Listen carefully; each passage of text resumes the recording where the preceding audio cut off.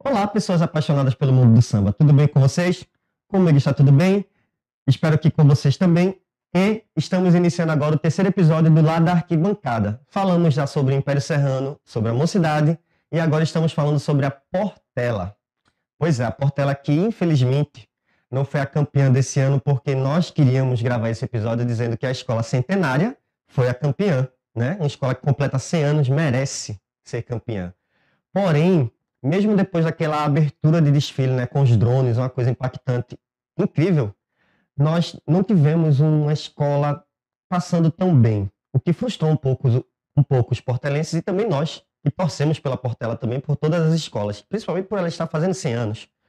Vamos começar, né, falando da Portela, mostrando a primeira parte do nosso programa, que é o é, nós começamos com a comissão, depois casal de mestre e porta-bandeira, alegorias e por último a bateria. E a Portela trouxe esse ano uma comissão de frente impecável, uma coisa linda. Observem.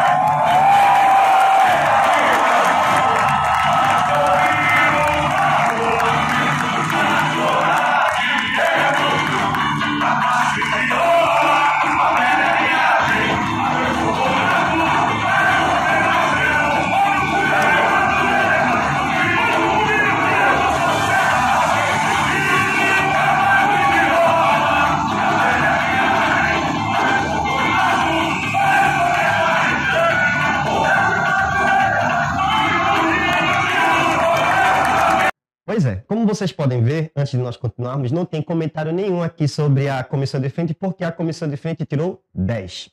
Não tem como tirar ponto dessa comissão afetiva, porque mostrou tudo que é de amor pela Portela ali. E não tinham que tirar ponto dali, aquela coisa foi maravilhosa. A, a comissão de frente da Portela, a abertura né, com essa comissão de frente incrível, já fez todo mundo ficar, meu Deus do céu, o que é que vem por aí? Vamos agora ver a segunda parte, que é o casal de mestre sala e porta-bandeira, Lucinha e Marlon.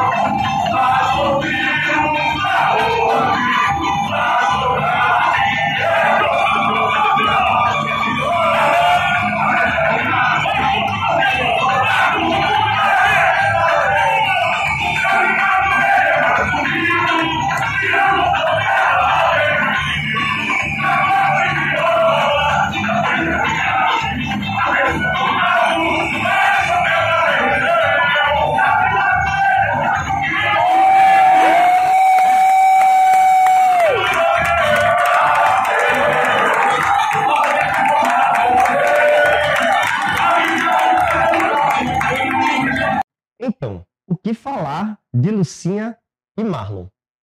Não tenho o que falar, porém, tem um acessório, né? Vamos ver o que o jurado falou aqui desse acessório. A porta-bandeira se apresentou no módulo 4 sem a peruca que estava no croqui do livro Abre Alas, na fantasia. A nobreza que desfila a humildade, tendo que penalizar. Pois é, no setor 10, Lucinha estava sem a peruca que estava no croqui da fantasia dela. Todo mundo sabe que a gente falou do livro Abre Alas na, no episódio anterior. E no livro Abre Alas tinha a peruca. E ela dançou sem a peruca. Dançou, inclusive, lindamente. Ela e Marlon, não tenho que tirar de pontuação deles dois, porque eles já entram com 10 sempre. Vamos ver a segunda parte da observação do jurado. A dança do casal foi lindíssima, com ousadia e risco louvável, apresentada com maestria, experiência, beleza e energia e garra. Parabéns! Eu entendo a cabeça do jurado de ficar com pena de despontuar um décimo desse casal que, como ela, o jurado mesmo disse, foi impecável. A bandeirada, os trejeitos, a dança, o deslizar, foi tudo incorrigível ali. Porém, infelizmente, ela não estava com a peruca, o que fez com que a escola perdesse um décimo na parte de, casal, de mestre-sala e porta-bandeira. Sigamos agora para a parte 3, que é a parte mais polêmica do, da nossa análise, que é justamente as alegorias da Portela. you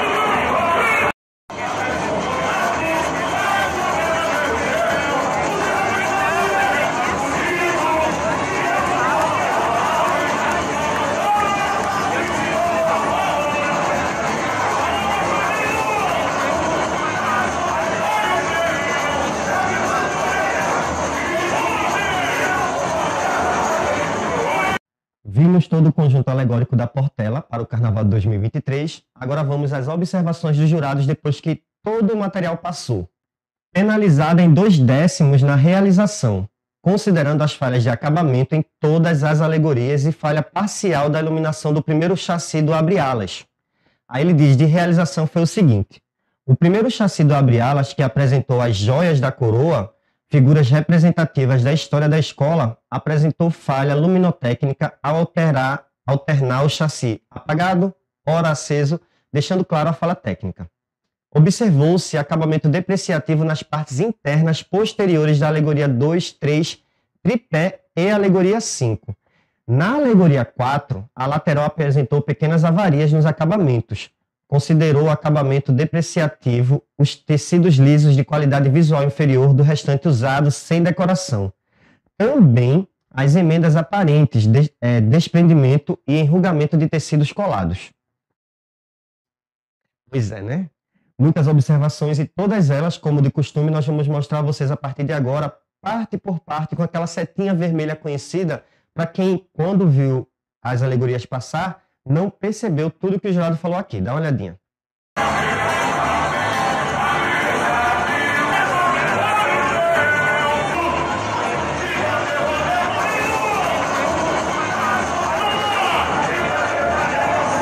Aqui pertinho, só para a gente conversar mais de perto. É quase um ano de preparo, gente. É o centenário da escola. A Portela merecia um pouquinho mais de cuidado. Isso é quase um puxão de orelha na direção, não sei com quem pode ser, mas assim, né? Erros acontecem, tipo do ano passado que o Globo bateu lá no viaduto, é uma coisa. Mas muitas das pontuações que foram perdidas de alegoria são coisas que poderiam ter sido vistas antes. Colagem de, de, de tecido com, com rugas, isso é uma coisa que a escola pode ter sido, poderia ter sido resolvido antes, né? Aí, assim, quando a gente está lá no setor, a gente vê a escola passando e fica triste. Tem escola que eu vou que a gente vai conversar depois, que aconteceu um acidente com o carro, aí passou torto. É uma coisa, mas acabamentos, detalhes no centenário de uma escola, complicado, né, Portela? mas estava linda, estava muito bem. A gente entende, depois do vídeo, por que os jurados tiraram a pontuação. Na verdade, lá na, na, no setor 10, o pessoal já comentava muito, né? E vai ser difícil, vai ser complicado, porque não está o que a gente esperava. A gente entende também isso. Mas vamos para uma parte boa, vamos falar de parte boa agora, vamos falar da Tabajara do Samba. Dá uma olhadinha em como ela passou no setor 10.